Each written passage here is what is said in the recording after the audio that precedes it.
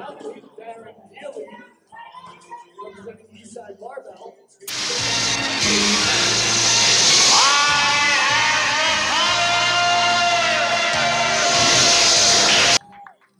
Yo, YouTube, YouTube, what's going on? Trey back again, hit y'all another video. Hope y'all having a very great day. Hope y'all having a very great week. My day is going absolutely marvelous. Big shout out to all the channel members and subscribers of the Trey King Show family. And much love to each and every last one of you all. And you all, we have a story out of Nevada by way of Reno. And big shout out to everybody in the great state of Nevada, everybody inside the great city of Reno. And now before I start this story, I want to send a special thank you out to my channel members and also to my subscribers for sending me this story. And also, keep these stories coming. Now, you all know also today is what? Yes, not Thursday Thursday. That was yesterday. Today is Freaky Friday.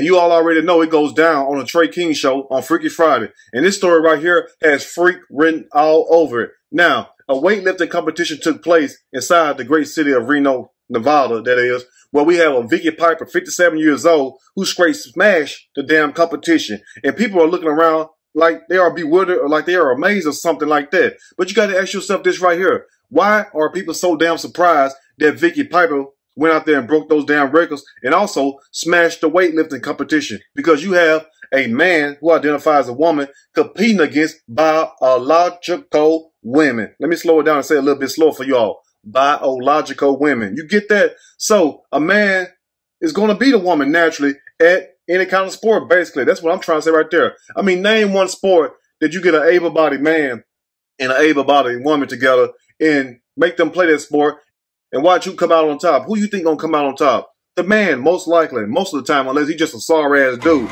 But at the same time, you gotta ask yourself this right here. How did we get to this point in life where we have transgenders competing in female sports, women's sports, whether it's high school or whether it's professional sports. Now, for those who remember, I did a video just a couple weeks ago out of Massachusetts where we had a high school basketball player who identifies as transgender hurt four other female players on this basketball court, as you all see this little snippet right here. Now, you got to ask yourself this right here. How would you feel if there was you out there born a female competing against a boy who was born a male? You get that? how would you feel? I mean, think about that also. How in the hell did we get to this point? That's what I'm trying to get at right there. But at the same time, just think if that was your daughter out there or if that was you out there and you having to compete against somebody of the opposite sex. I mean, where do we draw the line at? But the sad thing about it, you would think that more people would speak out against this mess. And true enough, you have a lot of men standing on their square speaking out against this mess. But at the same time, you would think it would be more women speaking out. But no, the women only worry about celebrities and who buying this and who buying that until these men want to come inside these bathrooms with them. Just like we had this huge uproar in the media just last week when we had a male transgender inside of a female's locker room, inside the female's bathroom, that is, changing his uniform and whatnot, and also shaving. Now, women spoke out against that. So the only time these women most speak out, these females, is when these men want to come inside the restroom with them. But at the same time, you got to keep that same energy when they want to compete against you in these sports. Because as you all can see, it is no down competition because God made people this way. He made male and he made female. Women are blessed with certain things Men are blessed with certain things, but there's no way you can take a strong ass man or a boy and put them against a woman or a girl. We're built different. I don't care what you all say or how you try to dress it up. It's the truth. Now look here. I'm not up here trying to make nobody transphobic. I'm not trying to make nobody homophobic, even though this is not about gay people or anything like that. This is about transgender who are crossing the line trying to compete in female sports. Now look here. You can be what you want to be in life. Let me say that again you can be what you want to be in life because grown folks is going to do what they want to do. But at the same time, it should not come at the liberty and the cost of somebody else. And the people who are paying the cost is who? Females, yes. Women and girls are paying a huge cost. But at what point do y'all say enough is enough?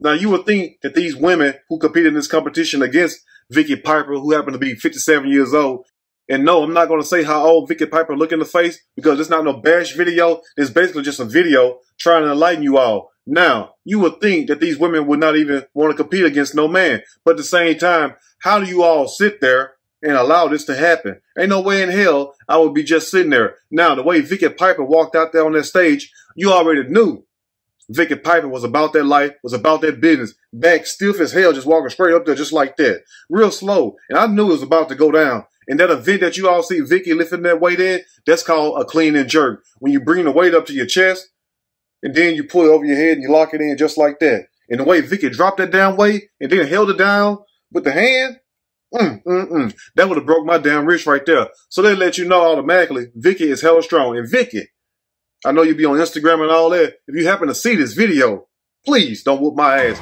I'm just up here trying to light the people. Matter of fact, my channel members put me up to do this video. So get mad at them and whoop their ass. Do not whoop your boy ass. Because as you can tell, I am very light skinned and I bruise easy. You get what I'm saying? Have me looking like the LGBTQRS flag in a damn face. But at the same time, you would think that these females would stop competing against these men. Just like at this high school basketball game. And the way that you make a stand is that you make an example.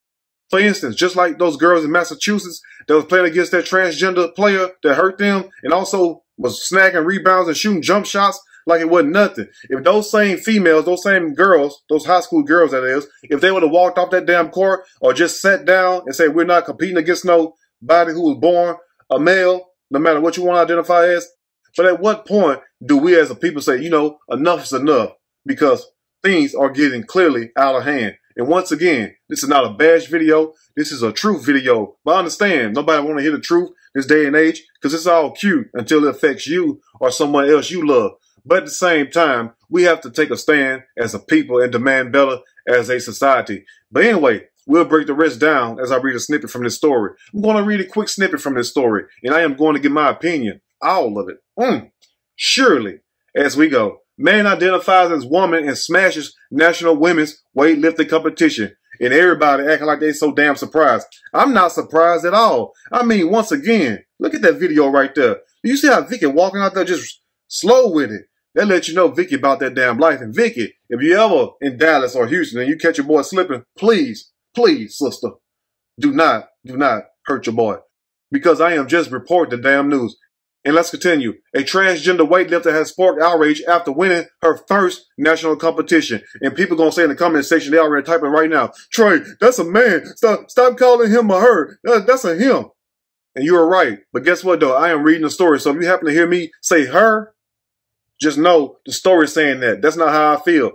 Anyway, it says a transgender weightlifter has sparked outrage after winning her first national competition, beating the women who finished around by a combined 37 pounds. That's a lot of damn pounds right there. And look at this chart right here.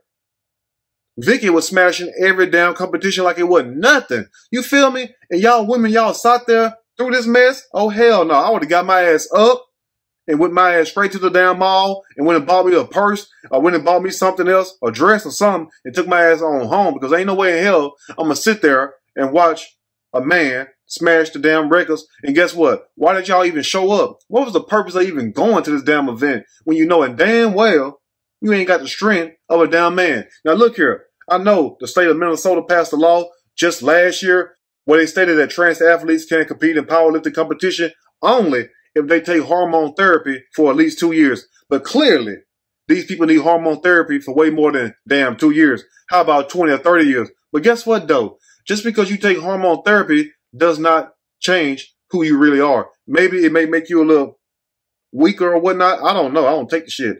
But at the same time, I don't understand how that works or whatnot. So can somebody please explain to me in the comment section how hormone therapy works? And if that's the damn case, guess what? Y'all need to up the ante a lot more the dosage or whatnot because Vicky is strong as hell. And now to the star of the hour, Vicky Piper, 57 years old. And Vicky, I'm not going to make fun of how old you look in the face because this is not that type of video. And furthermore, the way you walked out on that stage and grabbed them down waist and lifted it up, you would have no problem lifting my ass up and chunking me some damn well. So I'm gonna keep my mouth shut. Vicky Piper, 57 years old, took first place in both her age and also weight groups among women earlier this month at the Masters National Championship in Reno, Nevada, says the damn news station. And you know what? That's exactly what Vicky was supposed to do, take first place. You get it? Because y'all gonna learn one damn day that it's all fun and games until it gets real. And things done got real in this world. But at the same time, you have people acting like they are shocked.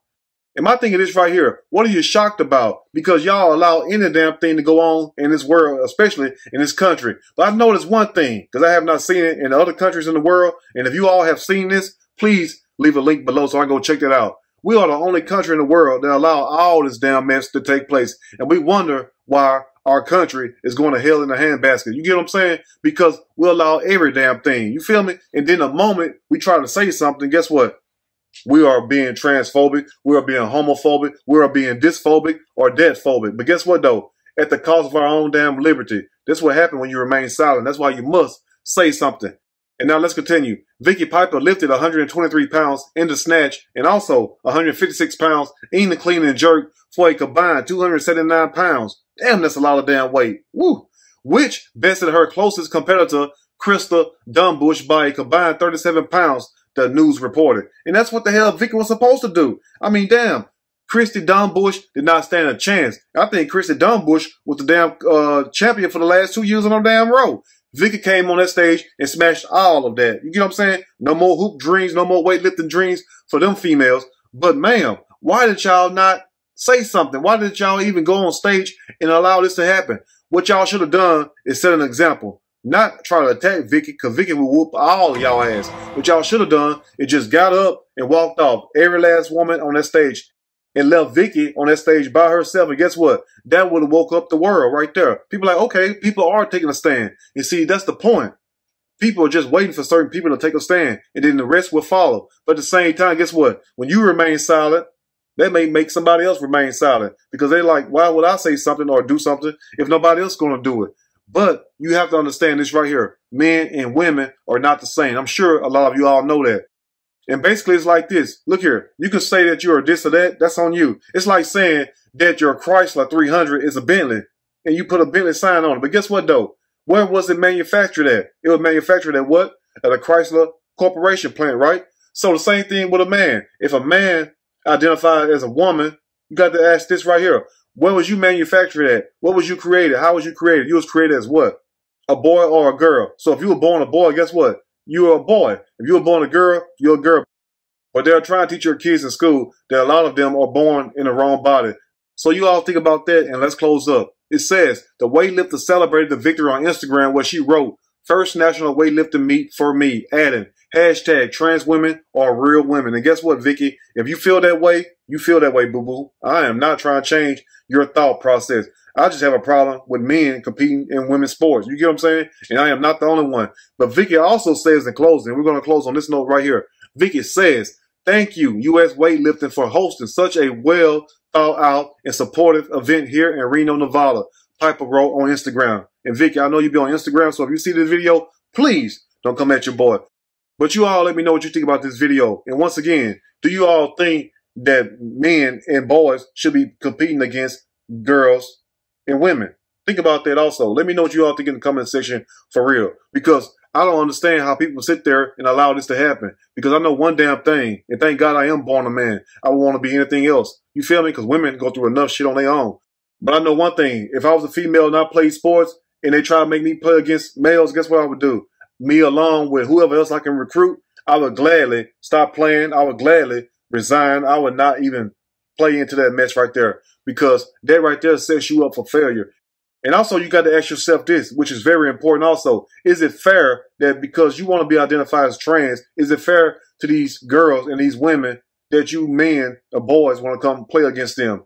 But also, think about this before I close. These transgenders, they don't want to compete against males. They want to compete against who? Yes, females, girls, and women. Think about that also. So the next time you sit up here and try to go along and get along and sit up here and turn a blind eye to stuff like this, guess what? Sooner or later, it will affect you, especially in this world we live in. Anyway, you all let me know what you think about this video. If there's anything I may have missed or misinformed, which is not my true intent, please let me know in the comment section or you can email me. We can talk about it more there. If you like the video, push that like button. If you like the video, subscribe to the channel, become a channel member. Also, share the video with your family and friends. Till next time, you all stay blessed and have a great day. And I'll see y'all soon on the next Trey King show. And guess what? I'm out.